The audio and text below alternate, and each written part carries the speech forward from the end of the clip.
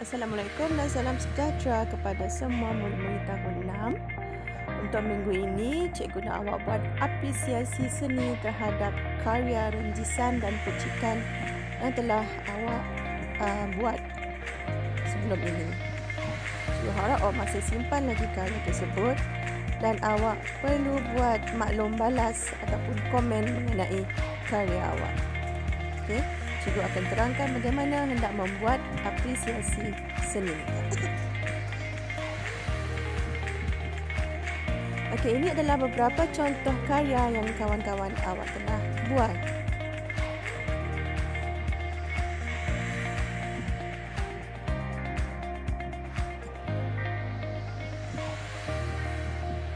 Cantik kan?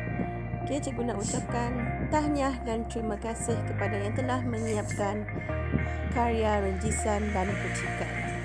Cikgu harap murid-murid yang lain yang belum siap tu tolong siapkan karya masing-masing.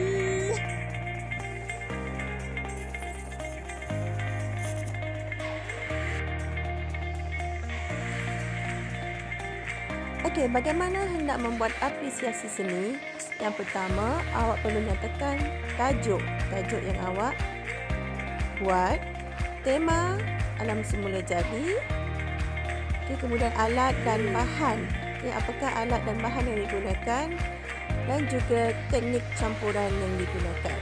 Okay, awak perlu nyatakan teknik apa? Iaitu teknik rentisan dan percikan, teknik stensilan dan teknik capan. Okay, awak perlukan awak perlu terangkan satu persatu. Kemudian, awak nyatakan proses dalam menghasilkan karya. Okey, awak terangkan bagaimana awak hendak menghasilkan teknik renjisan dan percikan, bagaimana awak hendak menghasilkan teknik capan dan juga teknik stensilan. Okey. Terangkan proses dia, bagaimana awak membuat um, teknik tersebut pada karya awak. Kemudian awak nyatakan apakah unsur seni dan prinsip rekaan yang diaplikasikan. Okey, ini adalah beberapa contoh contoh unsur seni unsur seni visual dan juga prinsip rekaan. Okey, apakah unsur seni dan prinsip rekaan yang awak aplikasikan dalam menghasilkan karya renjis, renjisan dan percikan?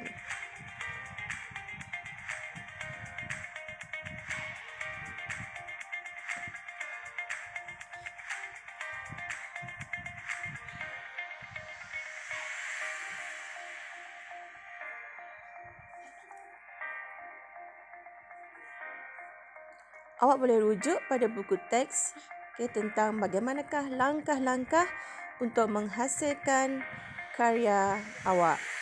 Okay, awak boleh terangkan satu persatu dengan merujuk buku teks. Okay, awak boleh baca daripada buku teks ni kalau awak tak tahu.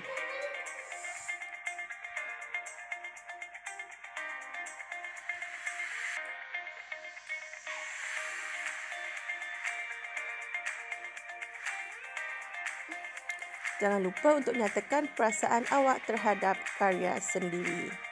Okey, apakah perasaan awak sama ada awak gembira? Okey, apakah bahagian yang paling awak suka?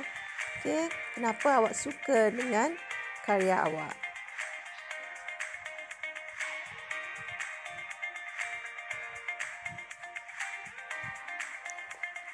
Okey. Sekian terima kasih daripada cikgu. Okay, sila hantar apresiasi seni awak